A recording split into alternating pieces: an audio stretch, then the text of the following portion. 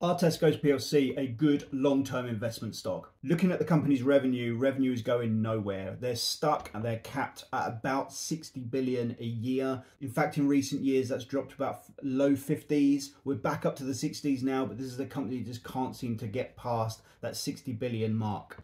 Over the last 15 years, profit's been sitting about 3 or 4% a year. That's not enough. That's too paper thin, doesn't give them enough money left over at the end of each year to reinvest into further growth. It's just not enough there. Debt levels are too high. In 2021, they were at 14 times earnings. That's just, they're biting off more than they can chew. In 2020, share price sat at £2.50 a share. Today, this stock sits at £2.50 a share. That tells you pretty much what you need to know. Over the last 25 years, as a company that have not been able to grow. Not a bad dividend stock. They pay 4.5% dividend. That's not bad.